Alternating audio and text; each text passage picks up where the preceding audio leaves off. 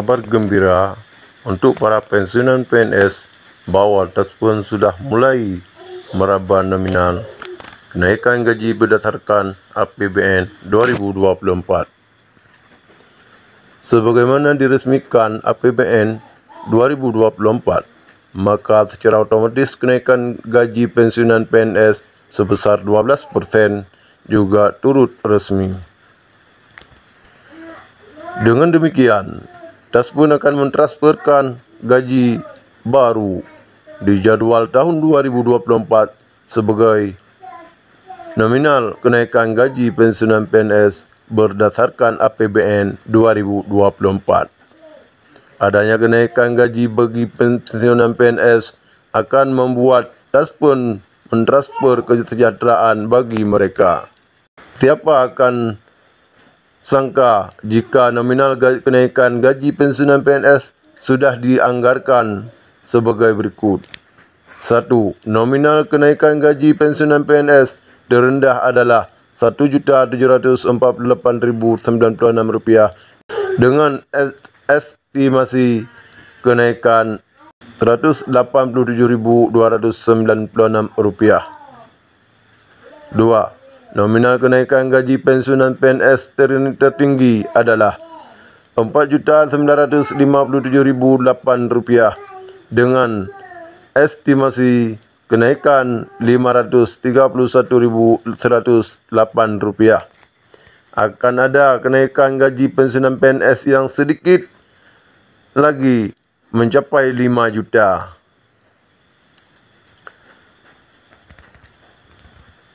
Tanpa keberatan, Daspen pasti akan mentransfer kenaikan gaji tersebut pada rekening masing-masing pensiunan PNS.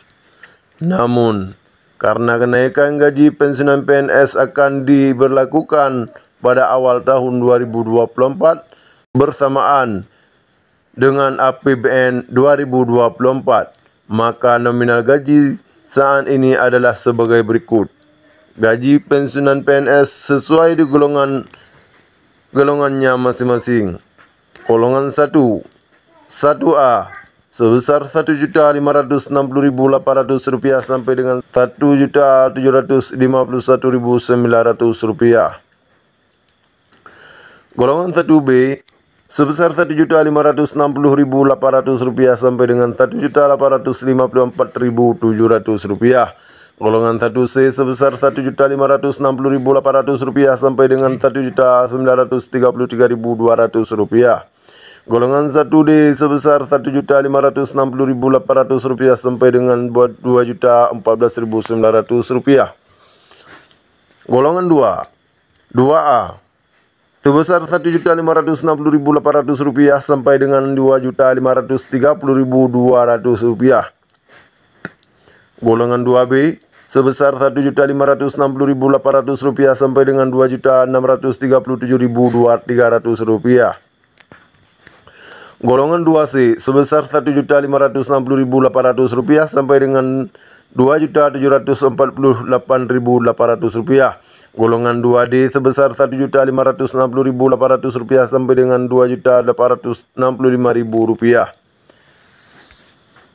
Golongan 3 Golongan 3A sebesar Rp1.560.800 sampai dengan Rp3.177.300. Golongan 3B sebesar Rp1.560.800 sampai dengan Rp3.311.700. Golongan 3C sebesar Rp1.560.800 sampai dengan Rp3.451.800. Golongan 3D sebesar Rp1.560.800 sampai dengan Rp3.597.800. Itulah nominal gaji pensiunan PNS yang masih belum terpengaruh pada resmian APBN 2024. Semoga informasi ini bermanfaat bagi kita semua. Terima kasih.